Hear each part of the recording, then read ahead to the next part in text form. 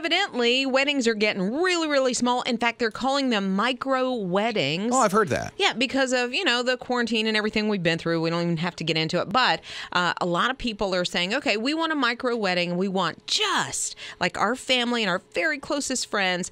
Of course, that brings the budget of a wedding down, and it's Way down. Right. And then you can stream it for your friends who can watch it. Exactly. And so they're all part of it and they feel like, you know, they're together. And maybe you can have some little smaller receptions because I've heard of that as well. Um, you know- Micro receptions. yeah. So like 10 people at this one and, you know, maybe six months later. birthday parties. Yeah, exactly. Or office get togethers or, or whatever. Micro Christmas parties. Wow, this is this is pretty good. I know. So you save a lot of money here. What else micro can we do? Well, and not only saving money, but I know when we've had we had a big birthday party for me like a couple years ago, and there's so many people there that it's hard. She's to, so popular. No, not really. But, Yeah. but it's How so many? 100? hard. Uh, seventy-five. Close to 100. See, something I like almost that. got there. I knew Something it. Like that.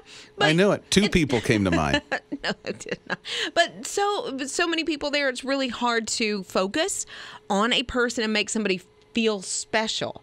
Because if if somebody's coming to your party or your wedding reception, you want to make sure you spend time with them and, and really have a nice micro chat. concerts. Wouldn't that be great just to have a micro concert with TobyMac? Right? You know, 10 people. Like in it. the round and it's just Toby in the middle or you know at the head of the circle or 10 whatever. people but there. Oh, no, he still needs all his dancers and all the lights Oh well, and that's stuff. true. Now that would that. be awesome, Right? To watch, but Right? yeah, but uh, my daughter uh, last year had her wedding in our backyard. Nine people, nine. That Nine. wasn't planned because that was like you had to step back and punt. exactly, and we had 125 to 150. It was something like that. that Told were you, she's going popular. to be there. Look at no, that. my Look daughter's how popular. popular. So that's what we planned, but it ended up being nine people in the backyard, and of course that was because of mandates and all that at the time. Oh, yeah. But And- now it's a thing. I know, but Micro she, weddings. right? But she was disappointed at first. Micro restaurants. How about micro uh, restaurants? You Well, got- that's your own backyard.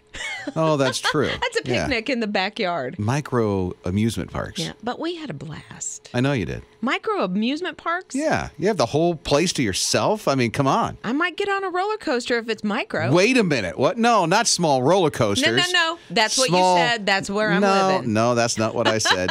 and you absolutely know it. Okay. Smallest gathering you've been at since COVID 19. Yeah. Love to know the story. 800 447 7234.